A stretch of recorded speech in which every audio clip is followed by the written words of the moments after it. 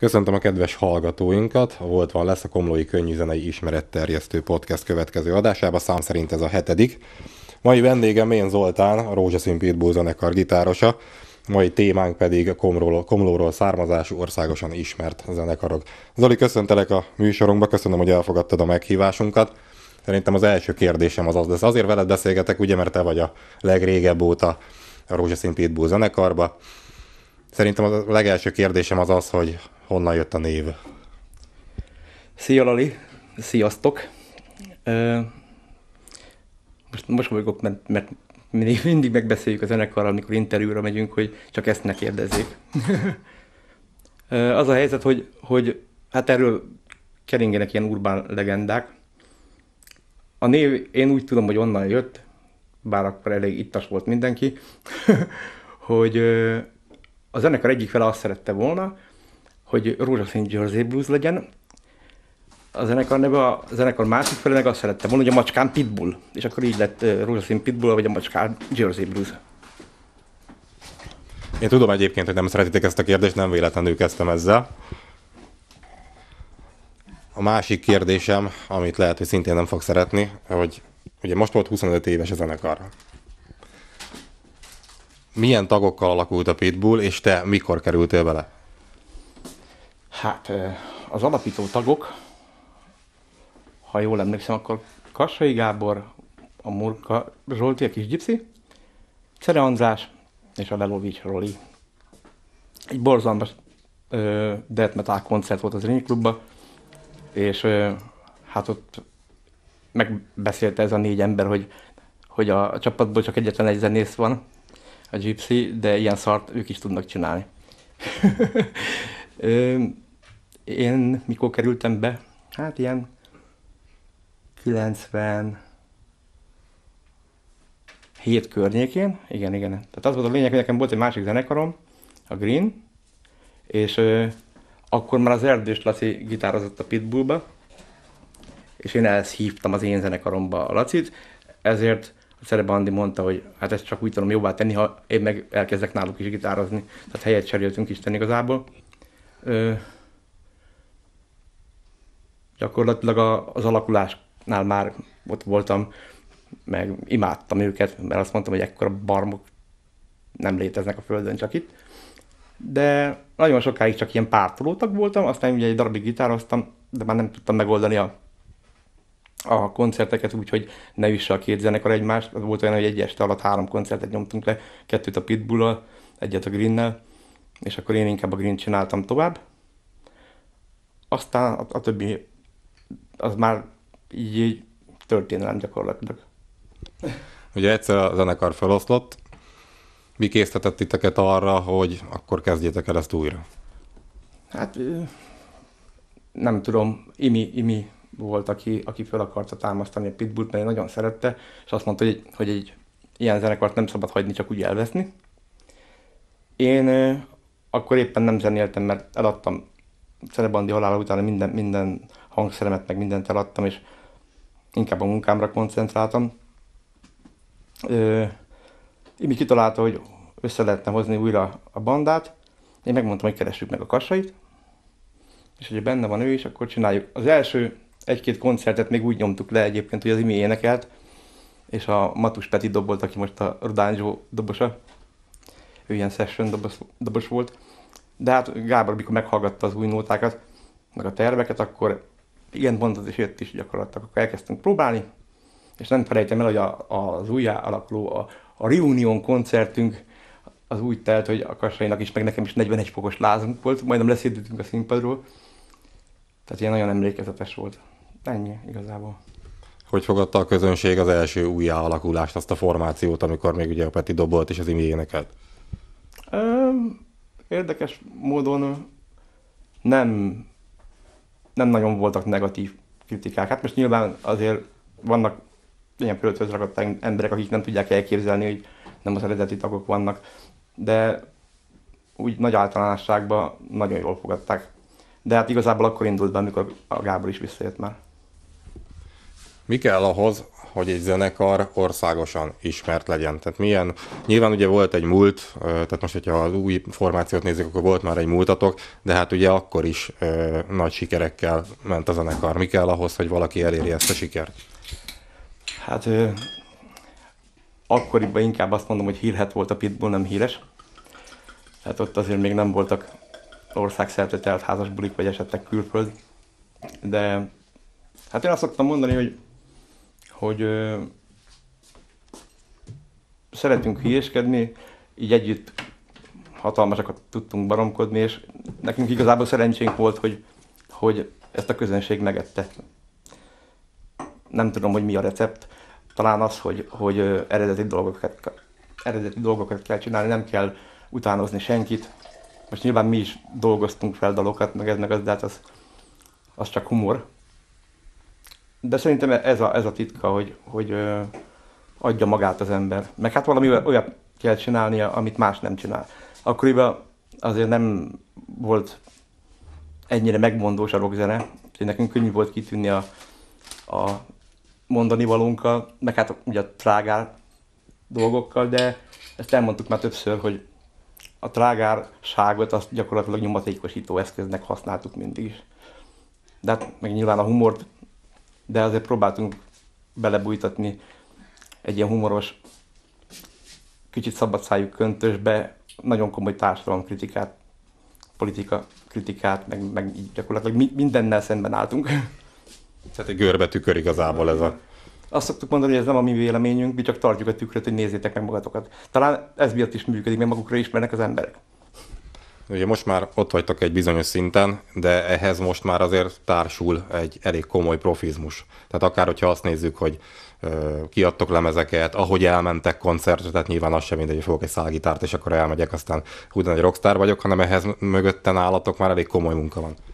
Hát igen, hogyha éppen nincs pandémia, és így dübörög a, a show business, akkor elég komoly stábbal dolgozunk, komoly színpadi látvány van, meg ezt még fejleszteni is akarjuk amúgy, meg hát ugye táncos nő, egyéb előadó művészek. hát igazából az a helyzet, hogy az ember minél nagyobb lesz, ugye annál, annál nagyobb lesz a csapat is, meg annál nagyobbak a költségek, annál komolyabbak a kiadások, és most már pont azon a határon vagyunk, amikor, amikor ezt már egy kicsit ilyen, bármennyire nem a pénzért csináljuk, meg bármennyire tényleg ezt csak szívből, lélekből nyomjuk, de már benne van az, hogy, hogy vállalkozássá kéne alakulni, mert, mert uh, hihetetlen pénzekről van szó, meg, meg munkáról. Profizmus? profizmus. Mi a profizmus? Most Isten igazából én szoktam mondani, hogy én még, mindig nem tartom magam zenésznek, annak ellenére, hogy 30 éve így a színpadon vagyok. Én azt szoktam mondani, hogy bohóc vagyok, és hála Istennek ekkora szerencsém van, hogy amit én bohóckodok, az, az bejön az embereknek. De hát nyilván azért, azért most mi előttünk is van egy bizonyos mérce, amit, amit meg akarunk ütni. Én úgy is érzem, hogy, hogy így az új lemezek közül mindegyik egy, egy ilyen szintlépés. Nyilván nem tol, tolhatjuk túl, meg úgy is íródnak a dalok, hogy a 40-50 százalékuk ki van dobva, mert, mert hogy ez már, már annyira bonyolult, hogy ez már nem pitbull. De most az, a legújabb lemez, amit, aminek neki akarunk majd állni így a tavasszal, az, az egy kicsit bonyolultabb lesz zeneileg, illetve, illetve nem lesz annyira vidám, mint amennyi, amilyenek voltak eddig a Pitbull lemezek. Nyilván nem kell megijedni, tehát nem egy, egy depressziós dark albumot fogunk kiadni, csak hát miránk is nagyon-nagyon komolyan hat ugye ez a válság, ami a pandémiát kíséri, és, és hát bennünk is komoly indulatokat szít ez az egész, és hát ezeket így keményen belefogalmaztuk. Meg, hát, meg a szokásos témák, politika, egyház. A pandémia konkrétan majdnem, hogy akkor politika, meg ilyenek. Hogyha már erre kitértünk, akkor mennyire éreztétek meg ezt a pandémiát? Mi változott a zenekar életében? Nyilván ugye tudjuk, hogy koncertekre nem tudtatok járni, de mondjuk próbák ugyanúgy zajlottak, vagy akkor azt mondtátok, hogy akkor ráérünk mondjuk havonta egyet próbálni? Hát az első felében a pandémiának stúdióba vonultunk, és mi megcsináltunk egy dupla lemezt, azt a 25 éves jubileum lemezt, azon ilyen fél évig dolgoztunk legalább. Ugye koncert nem volt, így próbálni nem kellett, mert minden cuccunk volt a stúdióban, de így legalább volt időnk, tehát mi mindig minden lemezünket összekapkodtuk, nem a, a saját hibánkból, hanem mindig hülyén alakultak a dolgok, és most én azt mondtam, hogy végre van rá időnk. Igaz, hogy így a költségek is megnőttek, de hát hála Istennek leszerződtünk egy, és hát azt mondom inkább, hogy lett egy, új pitbull testvérünk, egy alomtársunk, Szedlát Pisti a menedzserünk, aki, aki teljes jogú zenekartakként van kezelve, és hát az, ő nagyon sokat segített így anyagilag, meg, meg minden. Ja, úgy, úgy, utána csináltunk egy, egy lemezt, amit a Haskabila megsegítésére készítettünk el. A CPG énekese nagyon rossz helyzetbe került, amikor agybérzést kapott, kirúgták a munkahelyéről, felmondták az albilletét, és mínusz 15 fokba egy fűtetlen lakókocsiba lakott. Ezért úgy döntöttünk, hogy akkor, ha már ő úgyis Béla, nekünk meg van egy csomó Bélás nótánk, akkor, akkor csinálunk egy olyan lemezt, aminek az a címe, hogy Béla mindent visz, és a teljes bevételét a, a Bélának adjuk. Jól sikerült egyébként ez a kezdeményezés? Vagy mihez képest? Jól sikerült, én azt mondom, tehát nagyon-nagyon sokan beszálltak ebbe. És nem úgy értem, hogy, hogy megvásárolták a lemezeket, hanem más zenekarok is, meg, meg akármilyen civil emberek utalták a pénzeket, meg tényleg mindenki próbált segíteni ruhával, ebből, avval. Kicsit belállt a földbe, mert akkor nagyon bevadult a pandémia, amikor elkezdte a menedzsmentünk így postázgatni, aztán még mindig van, aki nem kapta meg, de, de épp mi azon dolgozik, most hét nappal átéve, hogy, hogy mindenkihez eljusson, aki, aki még nem tudta megvenni, vagy meg, nem kapta meg tőlünk. Béla köszöni jól van, én úgy tudom. Bár én nem találkoztam vele személyesen, de Jepi, mikor volt a Pécsi CPG koncert, akkor beszélgetett vele, ő ment. És hát én úgy gondolom, hogy célba ért. Kicsit így nehézkes, de gyakorlatilag a pandémia mindent akadályoz nem csak, nem csak a zeneiparban, hanem mindenhol. Ez van most. Igen, ezt mi is tapasztaltuk egyébként a podcast felvételek is csúsztak ebből a szempontból, hogy... hogy... Még annyi, hogy, hogy mert ugye kérdezted, hogy mit okozott a pandémia, vagy milyen hatással volt ránk. Hát olyan hatással volt ránk, hogy ugye ki lett fizetve gyakorlatilag három lemeznek a, a stúdió munkálata, mert ugye egy dupla lemez meg egy szimpla, úgyhogy egy kanyi bevételünk nem volt gyakorlatilag. Elbuktunk egy ír-angol turnét, egy ilyen hétállomásost, egy komplett ilyen tavaszi őszit, vagy hogy is volt, igen, meg a nyári fesztiválokat tavaly, ugye gyakorlatilag, tavaly előtt is, tehát hol volt, hol nem volt, ugye. Hát ö, talán a, az egy ötöd részét zenéltük, amit szoktunk. Tehát azért mi így évente szoktunk 60-70 koncertet adni. Ebben az évben nem tudom hány koncertünk lehetett, de talán 6-7. Látod egyébként, vagy látjátok egyébként ennek a végét?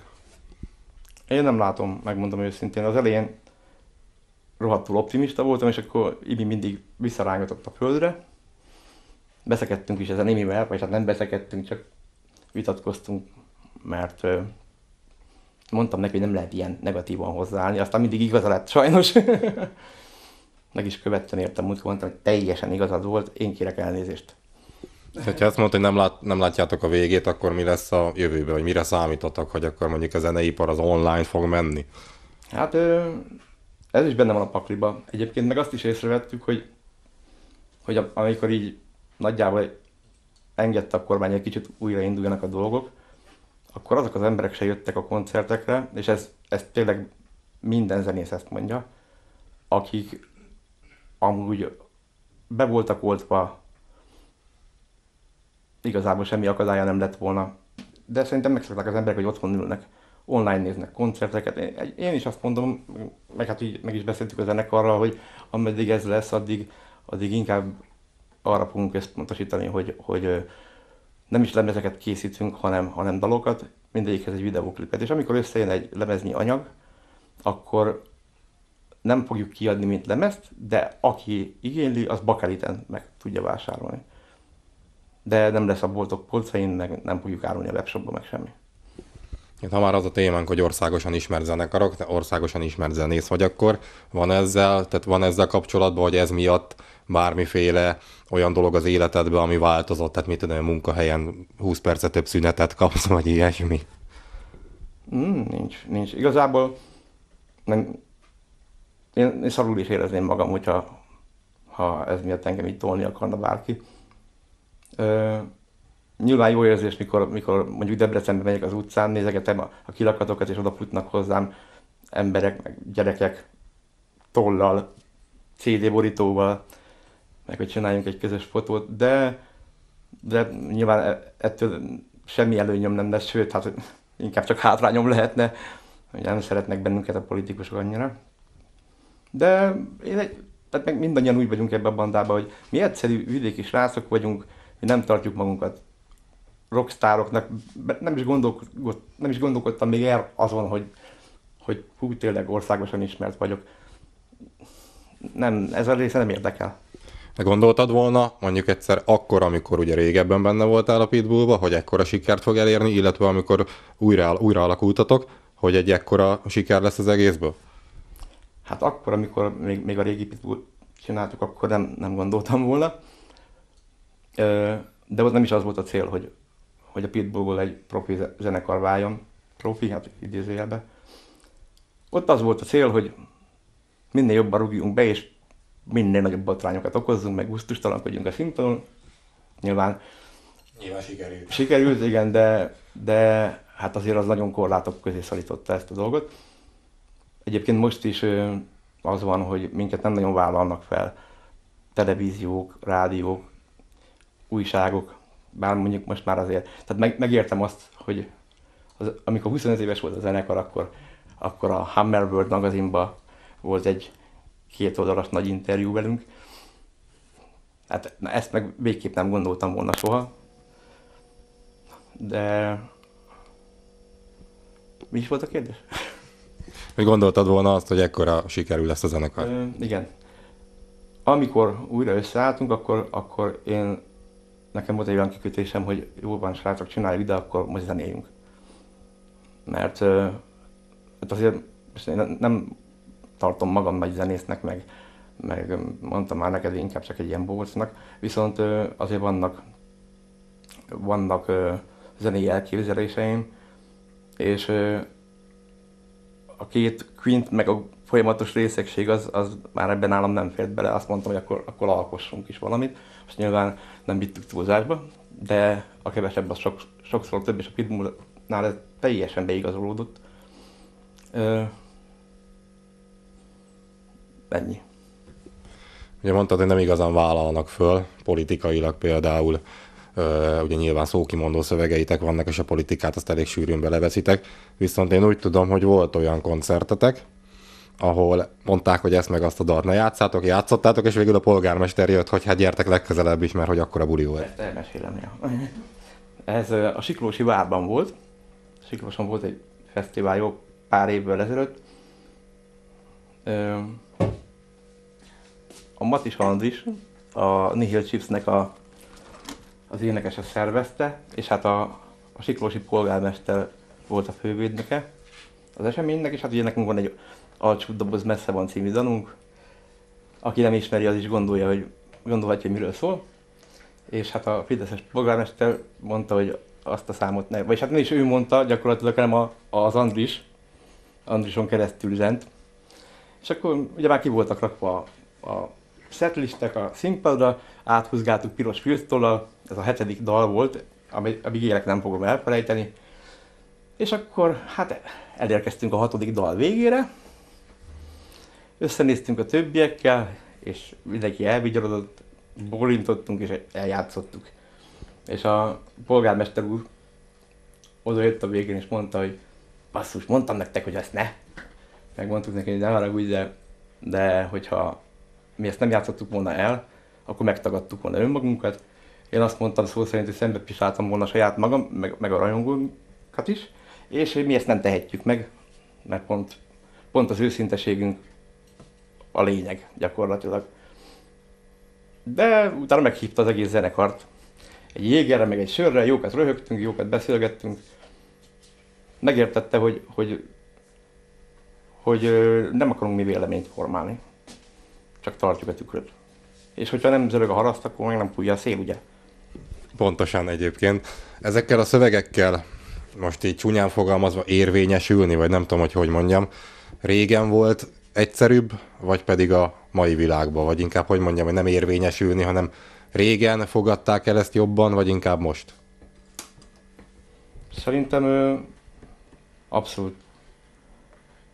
Régen voltak nagyobb problémák, vagy most igazából, mert a szövegeitek ugye azok a problémákat mutatják inkább görbe tükörbe.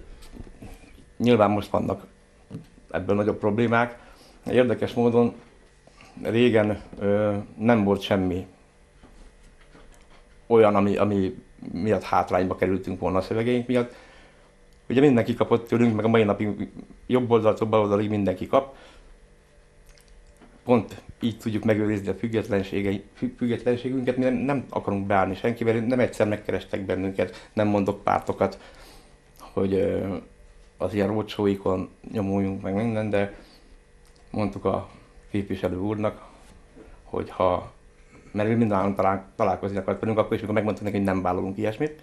Mondtuk, hogy egy üveg bor mellett beszélgetni akar a világ nagy kérdéseiről, akkor abban nagyon szívesen benne vagyunk, de, de mi nem köteleződünk el senkihez. Tehát így, ez megint egy olyan, ami, ami az elveinkkel teljesen szemben áll.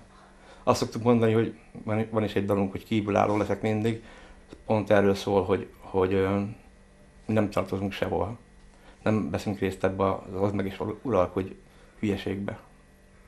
Egyébként mondjuk ez durva, hogy uh, ugye sok politikai dalotok van, és mégis a képviselő keres meg ilyennel. És uh, nem is egy párt képviselője, jobb oldaltól bal oldalig, tehát, sőt, szélső jobbig inkább úgy mondom. De hát igazából a Cserben Hagyatjaink című dalunkkal sikerült hatalmas botrányt csinálni. Mi tudtuk, hogy az lesz, tehát már úgy készültünk vele, de hát akkor átszólt, hogy még mi, mi is megijedtünk tőle, tehát nagyobbat robbant. Olyan, olyan mint a, amilyen a cárbomba volt a Szovjetunióban, hogy még a tudósok is megijedtek, mikor elszólta magát, mert nem számítottak rá, hogy ekkora lesz. Hát Isten igazából megint az volt, hogy, hogy ö, egy bizonyos része a politikának, akik arról híresek, hogy, hogy a szabadságban hisznek, de abban a pillanatban, amikor te nem a az ő dolgaikat súlykolod, akkor kirekesztenek, elgáncsolnak, fölrúgnak, betiltanak, kitiltanak. Betámadott bennünket egy ilyen csoportosulás. Igazából nem politikai dolog volt, mindenki azt hiszi, meg az elején mi is azt hittük, hanem ez inkább ilyen, ilyen szakmai féltékenységből adódott, mert egy olyan ember indított el ezt az egészet ellenünk, aki kb. ugyanolyan régóta zenél, még együtt kezdtük, annak idején, viszont hát ameddig ő neki 20-25 bepisilt kannásboros pankocska szédeleg a koncertjein, addig mi már akkor telt házak voltak, akár abban mentünk még külföldön is. És ö, szerintem ebben inkább, inkább ez volt, hogy, hogy a féltékenység. De amúgy ez a srác egy ilyen, ilyen nagy szélsőbalos véleményvezér. Hát remélem, hogy nem sokan hallgatnak rá, mert mert teljesen ilyen bigott, elvakult valaki. Igazából most már így kihevertük. Amúgy a legelső koncert a Szegeden volt a nagy botrány után, amikor ugye címlapon jöttünk az Indexen, de mondtam, hogy azért... Emlékszem. Mondtam, hogy ez mekkora paradoxon az Indexen ingyen címlapra kerülni, de... Ö, nyilván benne volt nálunk a botrány marketing, ezt mi felépítettük. Csak nem gondoltuk volna, hogy, hogy ebből azt fogják leszűrni egyes emberek, hogy, hogy mi a, a bevándorlók megölésére, a migránsok megölésére buzdítjuk az embereket. Sajnos nem túl intelligens a fiatal ember, meg nem, nem elég tanult, és nem tudja, hogy nem tudja, hogy mi az, hogy metafora például.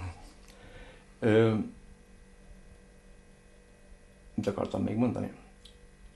Ja, szóval Szegeden volt az első koncert a nagy botrány után, amikor ugye kitiltottak bennünket a a minden évben megrendezett Düllerkertes nagy karácsonyi punk ünnepről, mert azt mondta négy-öt ilyen kis zenekar, zenekaroska, hogy, hogy akkor ők nem állnak a színpadra, hogyha mi ott leszünk. Ezért a szervező, hát nyilván ő pénzember, és, és nem merte ezt bevállalni, hogy, hogy akkor meg nem is lett volna már esélye meg az öt zenekar helyére még keresni valakit, ezért nem mehettünk zenélni. Amúgy előtte minden évben mi zártuk a nagy terembe, a Dürerkertbe a, a bulit, és telt házban ment. Tehát így nem mentek haza az emberek, mert tudták, hogy jön a pitbull. Amit nem döltünk kartba ez miatt, mert, mert volt ezer más lehetőségünk, illetve ugye a, a, a, az elgáncsolásunk az annyira nem jött össze, hogy ebből a botrányjal csak megtolták a szekerünket, és akkor most jön az, amit az előbb elkezdtem, hogy, hogy a Szegedi Városi Rockklubban volt az első koncert a botrány után. A koncert végén odajött hozzám a, a tulajdonos, és azt mondta, hogy Zolika, 35 éve csinálom ezt a klubot, de itt még ennyien nem voltak. És akkor volt is egy ilyen rádióinterjú, ahol megköszöntem az ellenlábasainknak, hogy kirekesztettek bennünket. Igen, ezekre a sztorikra emlékszem még. Ugye sok dalotok szól politikáról, meg nyilván azért ezt már többször említettük, hogy görbetűkör van, viszont vannak olyan dalaitok, amik konkrét személyekről szólnak. Nem tudom, hogy szoktatok-e találkozni ezekkel a személyekkel, megbotránkoznak rajta, vagy inkább mondjuk dicséretnek veszik, hogy őket vettétek elő. Van-e ilyen tapasztalatod? Hát mert én tudok egy olyan legendát, hogy állítólag egyszer, még fiatal koromban terjengett ez a legenda, hogy állítólag egyszer valami nem is tudom, hogy a Sziget Fesztiválon azért nem léphetett föl a Pitbull, mert ugye Komár László akkoriban ott tevékenykedett valami, ilyen, ilyen sztori volt, és ezért kérdezem, hogy van-e esetleg ami, ami ilyen élményed? Hát a, a művészfúrral sajnos egyébként úgy vagyok, hogy sajnos nem találkozhattam így személyesen.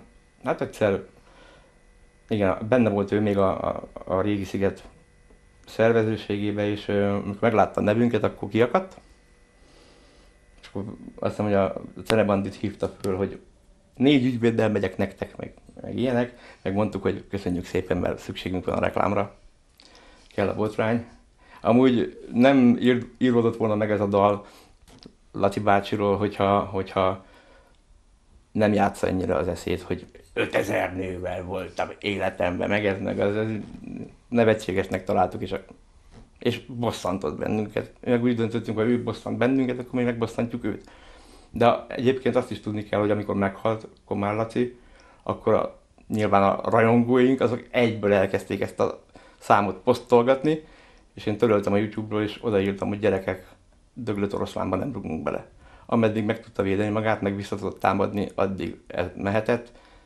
Amúgy meg nagyra értékelem az ő munkásságát, és viszont a zenésztársait, akik voltak a zenekara, ő, őket sikerült is személyesen megismerjem, mert ö, három éve nyáron a Szamolyai Fekete Cseresznye Fesztiválon dolgoztam biztonsági őrként a menedzserünkkel is, és ö, fölléptek egy ilyen Komár László emlékzenekar, minden zenész az, az eredeti zenész a Komár Lacinak, az énekes srác az meg, mint hogy az alter regója lenne, csak fiatalban, de a hangja, a mozgása, meg minden teljesen ugyanaz.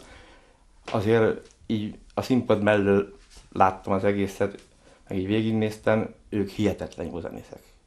És a Laci is az volt, csak ugye utólag, most már én is tudom, hogy voltak neki ilyen indulatkezelési problémái, olvastam Presser Gábornak egy-két ilyen dolgát, hogy, hogy még ővel is összebalhézott, pedig, pedig ő indított el a pályán.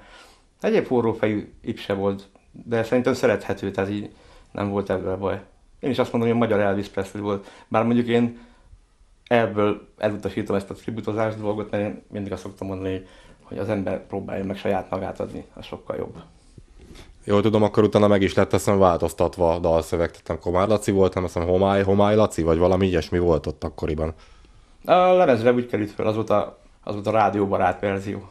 De a koncerteken nyilván úgy játszottuk, ahogy eredetileg volt. De mondom, amikor meghalt a Laci, akkor ezt le is vettük a műsorról, meg töröltük a, a YouTube-ról, meg mindenhonnan. Nem, így már, így már nem működik a dolog. Aztán, hát egyszer Török Ádám menedzserével gyűlt meg a bajom. Amúgy félreértés ne essék, Ádi bácsi tisztelem, tényleg azért ő tett le az asztalra, csak hát volt egy csúfondáros komlói koncert a sportcsarnokban, onnan kimenekültek az emberek, de szó szerint. És hát Gábor littyentett ebből egy ilyen kis dalocskát, ami a mai napig nekem a, a hangpróbákon a beéneklős nótám. Zenéltünk egy, egy, ú, hol is voltunk? János Somolyai falunapon, vagy mi volt az? és mi voltunk a főprodukció, és én kérdeztük is a polgármestertől, mikor odaértünk, hogy, hogy de hogy miért pont mi? és mondta, hogy ő végigment a falun, megkérdezte a fiatalokat, és egyöntetűen a rózsaszín pitbullt akarták. nem, a, nem a, mit tudom én, a hip-hop boys akkoriban még.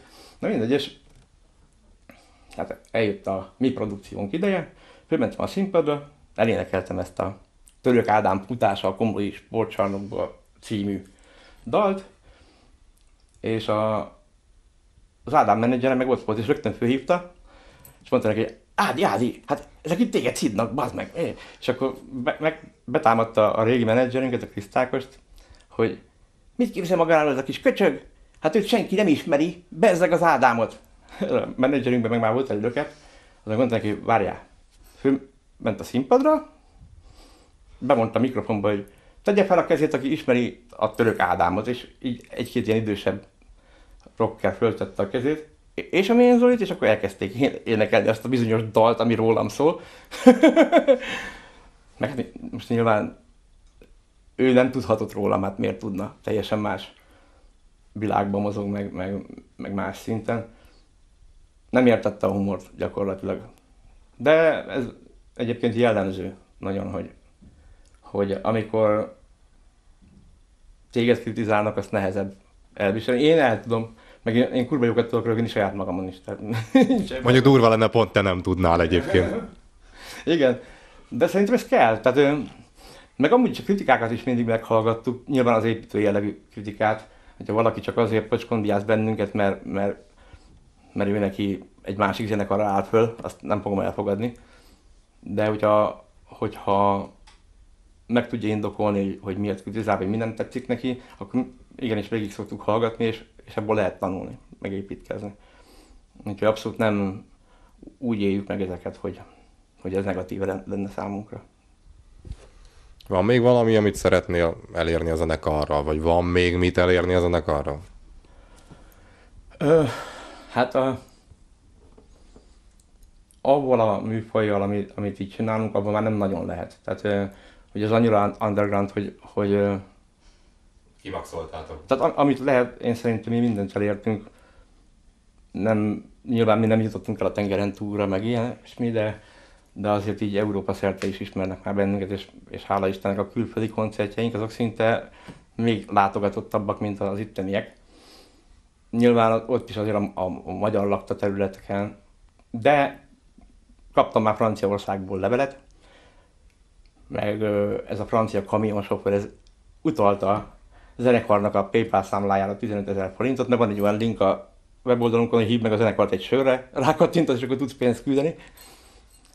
És írt nekem egy levelet magyarul, és nem ilyen Google fordítós levél volt, hanem, hanem lehetett érezni belőle, hogy kiszótározta, amit nem tudott meg. És ő leírta, hogy ő egy erdélyi magyar kollégájától, vagy nála hallott ezt először, és nagyon megtetszett neki. De hát nyilván ő nem értette franciaként a szövegét. És akkor megszerezte a lemezeket, és elkezdte lefordítgatni magának, és így meg a kedvenc zenekarává váltunk. De hát most nyilván nem, nem a, a zene az, ami elsősorban a, a, a mi zenekarunknál így megfogja az embereket, hanem inkább a mondani való meg a szöveg. Van, aki egyszerűen csak röhögni akar, valaki szeret velünk együtt kutyapicsázni, van, aki meg érti benne a, a mondani valót. És ez fontos, tehát el szoktam csodálkozni rajta, hogy, hogy nagyon sok ember azt érti csak meg, meg csak azt jegyzi meg belőlünk, hogy ja, ez, a zene, ez az a zenekar, aki bárkit elküld a bánatos faszba a színpadról, akkor is, hogy ott állnak vele szembe. de nem ez a lényeg, tehát én mindig el szoktam mondani, hogy, hogy a körítés az azért van hozzá, meg azért van hozzá a humor, meg azért, azért van a, a trágálkodás, hogy ö, felfigyeljenek rá az emberek, de aki, aki egyszer úgy hallgatja meg a szövegeinket, hogy figyel is arra, hogy mi a tartalom, akkor az biztos, hogy érzi benne a mondani valót. Jó, nem minden szövegünkben van, mert például a Kabbe című dalban pont nincsen. Mert szeretünk csak így szimplán gusztustalankodni is. Maradt még egy bő 10 percünk. Én itt igazából arra kérnélek, hogy mert senki nem fogja elhinni, nincs jó sztória, meg ma párat meséltél is ilyen rózsaszín pitbull zenekarnak, mert 10 percben még pár ilyen emlékezetes történetet, nyilván olyat, ami, ami a podcastbe is belefér, azért ezeket így egy párat mesélj nekünk, légy szíves. Hát ez, ez, ez mondjuk így nehéz, mert... Nincs olyan, ami belefér. igen, tehát a legtöbb az nem fér bele, amúgy meg én nekem megfogant a fejembe egy ötlet, hogy kéne írni egy könyvet, erről a lassan 30 évről. Mi lenne a címe? Hát azon még nem gondolkodtam, mert Csillájába elfolytották a többiek. Tehát uh, akkor írhatom meg, hogyha ma mindenki meghalt. Vagy, vagy mindenkinek álneve lesz, tudod, mit tudom, John, vagy ilyesmi, ilyen angolosan. Hát az, ez az egyik része, ugye, hogy, hogy tehát azért ezek elég izgalmas sztorik. A másik része meg az, hogy, hogy hát mi tényleg így megéltük a rock and és ez miatt sok mindenre nem, nem is emlékszünk. De hát próbálok valamit. Egyébként szerintem ez egy tök jó dolog, hogy ugye most nézzük, a, most a könyvről jut eszembe, hogy nyilván Ozzy Osbourne is adott ki könyvet, meg szinte minden zenekar már a régiek közül, és hogy ők is olyan durva sztorikat írtak le benne, amire az ember csak pislogott, hogy nem hiszem el, hogy ezt csinálta. És ez egyébként szerintem egy tök jó dolog, hogy van most egy mostani zenekar, aki ugyanezt megéli, és ugyanúgy ki tudna adni egy könyvet.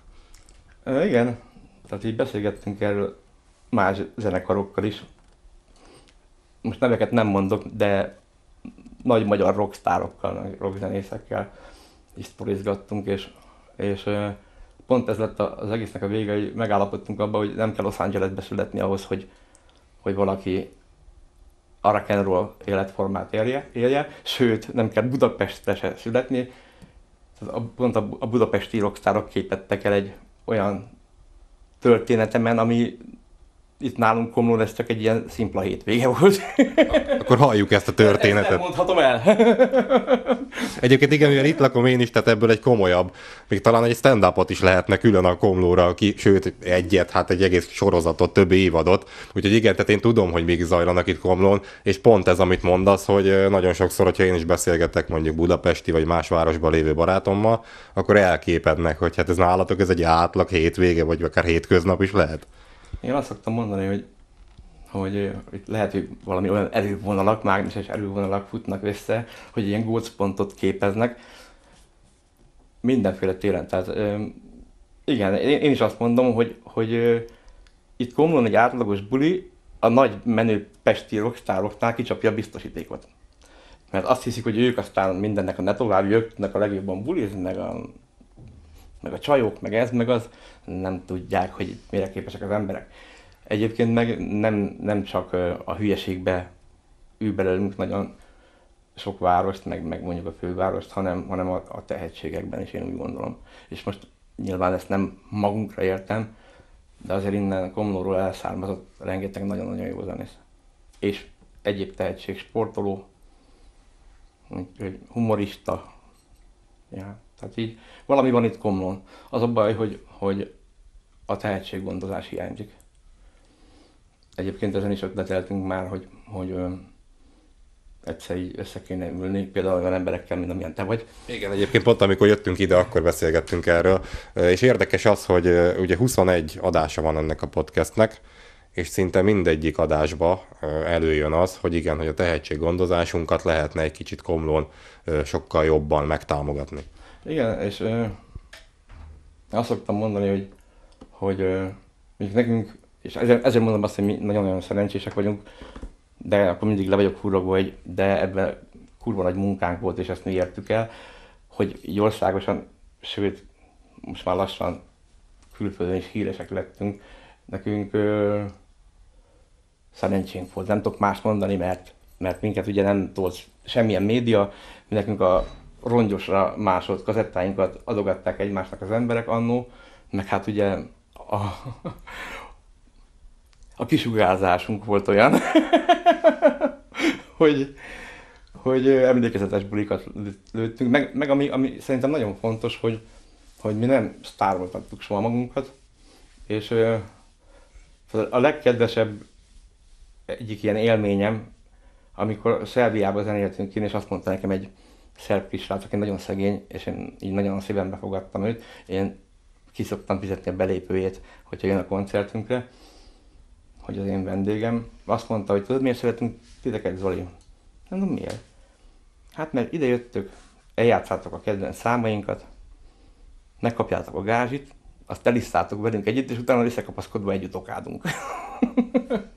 Jó, mondjuk, ez most nagyon le van sarkítva, de, de mi nem az a fajta társaság vagyunk, aki, aki például ugyanezen a helyen száz dinárért osztogatta az autogramot, meg ilyesmi. Mi, ahogy végeztünk a koncerttel, kifújjuk magunkat, átöltözünk és megyünk be a közönség közé. Mert úgy gondolom, hogy nekünk nem csak az a dolgunk, hogy a színpadon zenéljünk, hanem válaszolgassunk a kérdéseikre. Gyakorlatilag úgy tekintenek ránk, mint a, mint a, a barátaikra, mert tudja, meg érzik is azt, hogy mi közéjük való vagyunk. Tehát mi, minket csak az a rohadt színpad választ el, de az meg semmi. El is szoktam mondani, hogy, hogy annyi a különbség köztünk, hogy én a színpadon állok, te meg a színpad előtt, de ebbe ki is merült minden különbség, tehát ugyan, ugyanazok vagyunk. És tehát mondták már azt is ránk, hogy mi vagyunk a népzenekara. meg hát talán egy kicsit mi vagyunk a, az emberek fején a szerep, mint ami Hofi volt. Eljönnek, hogy kitombolják magunkat, magukat, lekurvanyáznak mindenkit, Orbántól Gyurcsányig, Győzikétől Kiszertündéig. Aztán mindenki nyugodtan és békésen hazavallag.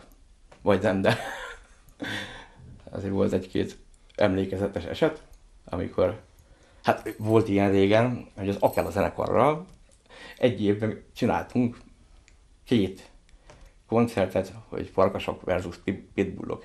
És a főnök mondta, Katon Laci, hogy ez azért jó, mert pont ennek a két zenekarnak a rajongó tábora a legdilisebb az országban, és ezek mikor így egyesítik az energiáikat, akkor abból nem sülhet ki rossz. hát ja, mondjuk tényleg hatalmas bulik voltak, csak egy idő után már nem, ugye nyilván nem érte meg se nekik, se nekünk felezni a költségeken. Meg hát nem is, tehát nincsenek olyan helyzetben a nem nagyon nagy sztárok, az ilyen mainstream bandák, azok esetleg megtehetjük, de mi nem tehetjük azt meg, hogy így közösködünk, mert, mert tehát annyira magasak a költségek, és azért tudni kell, hogy mindig a zenész keres a legszarabbul. Már mondjuk neked ezt nem kell elmeséljem, hogy, hogy, hogy jól keres a szervező, jól keres a, a klub, jól keres a... A szervezőt vitatnám. Hát jó, hogy na.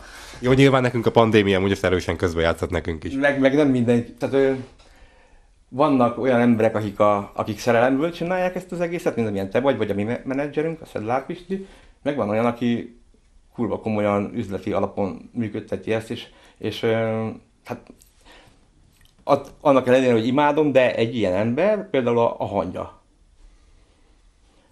A Sör ugye meg mindennel, de én tudom, hogy ő ezt jól csinálja, és őnek így, tehát így is kell csinálni ennyire üzletemberként, mert ettől működik. Hát hova nőtte ki magát gyakorlatilag. Csak minket ez nem érdekel, nem akartunk ilyenek lenni, gondolom te se, tehát így. Igen, nyilván te nekem is az a célom, hogy azért legyen itt fesztivál Komlón, de nem akarok holnap után venni egy családi házat, meg egy autót. Szerinted egyébként, hogyha ilyen ütemben, és az utolsó kérdésem legyen akkor, hogyha ilyen ütemben, vagy így, így kell, hogy gondolkodjunk ugye például szervezőkről, akkor, akkor hova fog jutni a zeneipar?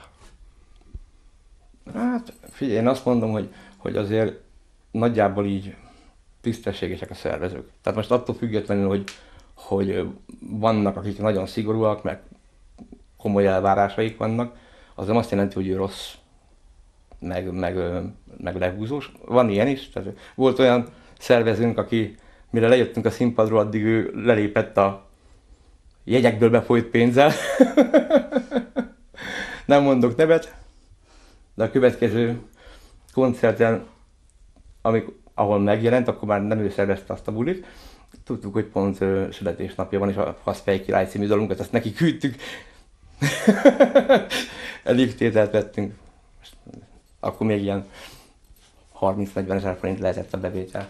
Tehát akkor igazából a zeneipar az így vagy úgy, de mindig működni fog. És ez... fog, csak szerintem hogyha sokáig lesz ez a pandémia, akkor mindenképpen az online dolgok fognak menni, illetve mi is most úgy vagyunk vele, hogy nagyobb hangsúlyt fogunk fektetni a streaming szolgáltatásokra, mert jelenleg semmi más bevételi forrásunk nincs gyakorlatilag. Ugye mi a lemezeinkből nem csinálunk pénzt, tehát annyira alacsony áron adjuk, hogy lehet, hogy ez még a gyártási költséget se fedezi, de nem is volt ez soha a cél, meg mindig fel is tettük ingyenesen letölthetővé. Most is úgy van fönn, hogy azt hiszem a, a Bandcampen úgy vannak fönn a lemezeink, hogy 300 forint, vagy amennyit akarsz. Tehát szerintem ez egy teljesen ilyen normális dolog. Nyilván az a 300 is csak azért van, hogy egy ilyen jelképes valami legyen. Legyen neve a gyereknek. Ja, ja, de mi nem ebből akartunk soha meggazdagodni, meg nem ebből akartunk élni, meg úgy is gondoljuk, hogy a, a zene az nem termék, az nem a polcokra való a boltokba, hanem a, a zenét azt csinálni kell, megélni, meg szeretni kell, meg bulizni kell rá, és, és erre nem, nem szabad úgy tekinteni, hogy, hogy ez legyen az embernek a, a, a meggazdagodásának a, az okozója. Most nem belebonyolódtam szavaimba. Szerintem ez teljesen jó zárás lesz. Szerintem ez teljesen jó zárás lesz. Zoli, még egyszer köszönöm, hogy elfogadtad a meghívásomat. Mi pedig akkor most azokat a sztorikat, ami nem fér bele a mikrofonba, azokat most meghallgatjuk.